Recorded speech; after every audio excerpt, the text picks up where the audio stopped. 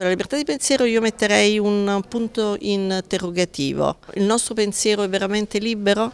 Coltivare il pensiero difforme, il gusto per la differenza e la capacità critica per respingere la pericolosa banalità dei luoghi comuni.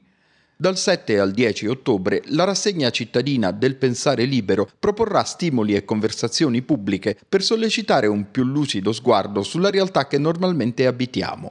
Il senso di questa iniziativa sta tutto nel sottotitolo Disobbedienze, dissensi, democrazie. Sono i grandi temi, temi cruciali della contemporaneità. Per il semplice fatto che dipende dal, dal, linguaggio e che il linguaggio ha delle convenzioni, è ben difficile avere veramente un pensiero libero.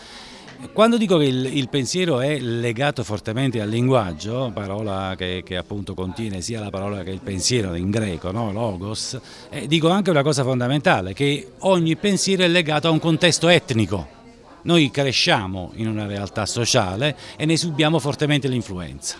Allora il libero pensiero era, è in realtà invece un tentare di pensare oltre il proprio pensiero, avere la possibilità quindi di incrociare altri modi di pensare e farli propri, anche al di là del proprio ambiente etnico che inevitabilmente spinge a pensare tutti alla stessa maniera.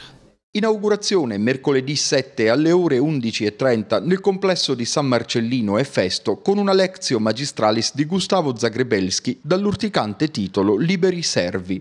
Da San Domenico Maggiore a Palazzo Marigliano si discuterà anche di satira e religione, di disobbedienza civile e elettronica e della libertà di parola in rapporto alla legge un tema che richiama il processo in corso allo scrittore Harry De Luca, accusato di istigazione a delinquere per un'intervista a sostegno del movimento NOTAV. Una volta affermato il diritto, il diritto a manifestare liberamente il proprio pensiero, il contenuto e quindi al tempo stesso anche i limiti relativi a questo diritto non possono che eh, diciamo così, subire le conseguenze dell'evoluzione della società, per cui quello che ci sembrava eh, diciamo così, eh, eh giustificabile 30 anni fa oggi non lo è più. Questa rassegna nella nostra speranza, nella nostra idea, nel nostro progetto è quello che eh, possa parlare soprattutto ai giovani della città, coinvolgerli, appassionarli,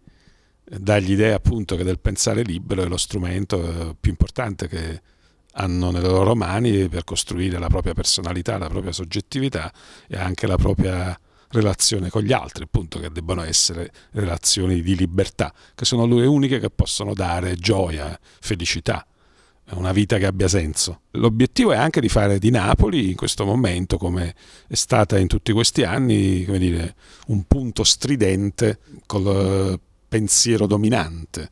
Tutti gli eventi sono a ingresso libero.